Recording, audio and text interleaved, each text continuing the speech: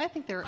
Okay, are you ready? Let's open up for the winner of the Eurovision Song Contest 2021. Let's open up to Italy.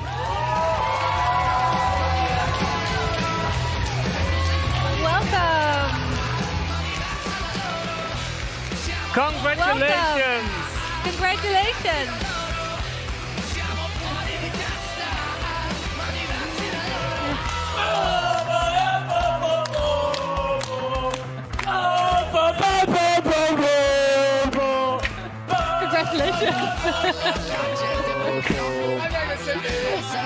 Yes. You can open the champagne if you like. Thank you, thank you.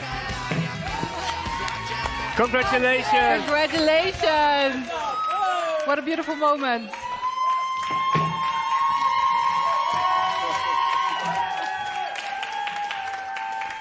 Okay, guys and girl, please sit down. Yeah. yeah, we try to. Do you believe what just happened? No. No. That is incredible. You won the Eurovision Song Contest. Yeah, Yeah. that's unbelievable. It's that's really unbelievable. unbelievable. With a song like that, that's Yeah, exactly. Let's That's go back to unbelievable. that moment eh, when uh, you get the, the, vote, the votes of all the televoters. What did you think? What did you thought? What, what, what did you feel when you saw all the points? Yeah, the amazing thing is Yeah. that we won because of so many people from home voting us, and that's Yeah. what counts the most for us because that means that people are actually like enjoying our music. So we're so honored and happy, and we really want to thank everyone who supported us.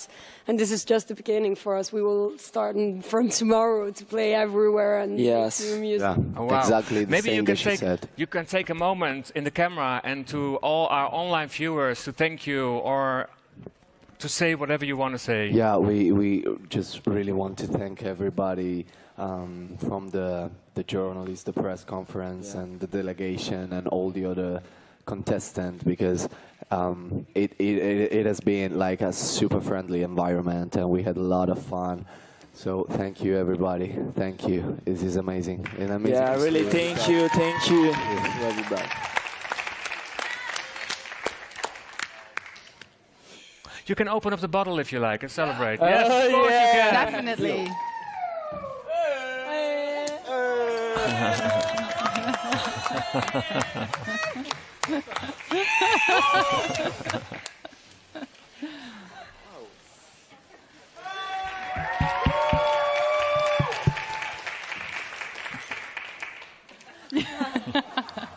Hello, mom. It's me.